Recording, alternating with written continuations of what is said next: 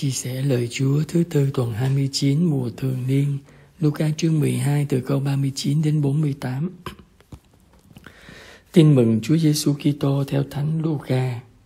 Khi ấy Đức Giêsu nói với các môn đệ rằng: Anh em hãy biết điều này, nếu chủ nhà biết giờ nào kẻ trộm đến, hẳn ông đã không để nó quét vách nhà mình đâu. Anh em cũng vậy, hãy sẵn sàng, vì chính giờ phút anh em không ngờ thì con người sẽ đến. Bấy giờ ông Phêrô hỏi, lạy Chúa, Chúa nói dụ ngôn này cho chúng con hay cho tất cả mọi người? Chúa đáp, vậy thì ai là người quản gia trung tín khôn ngoan mà ông chủ sẽ đặt lên coi sóc kẻ ăn người ở để cấp phát phần thóc gạo đúng giờ đúng lúc? Khi chủ về mà thấy đầy tớ ấy đang làm như vậy thì thật là phúc cho anh ta.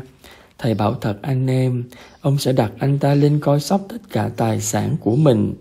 Nhưng nếu người đầy tớ ấy nghĩ bụng, còn lâu chủ ta mới về và bắt đầu đánh đập tôi trai tớ gái và chè chén say xưa, chủ của tên đầy tớ ấy sẽ đến vào ngày hắn không ngờ, vào giờ hắn không biết, và ông sẽ loại hắn ra, bắt phải chung số phận với những tên thất tín.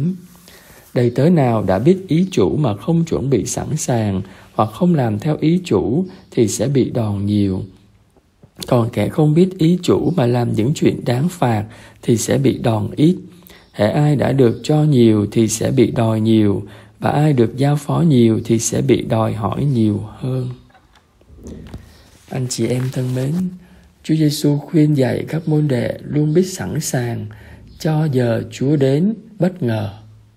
Sự chuẩn bị cho sự bất ngờ này không phải là ngồi yên chờ đợi một cách thụ động, nhưng là một lối sống tích cực mỗi người đều có một ngày Chúa đến viếng thăm theo lịch của Chúa. Phần con người không cần quá lo lắng về ngày đó, nhưng cứ vui sống và chu toàn mọi bổn phận Chúa trao theo bậc sống của mình là đủ. Thiên Chúa không đòi hỏi con người làm gì vượt quá khả năng của mình. Cho nên Chúa Giêsu đã nói thêm, ai đã được cho nhiều thì sẽ bị đòi nhiều. Mỗi người chúng ta đều có một ngày sẽ được Chúa viếng thăm. Chúng ta biết trước được điều này không phải để sống bi quan hay bất cần, nhưng luôn sống tích cực và đầy năng lượng để cống hiến và vui tươi.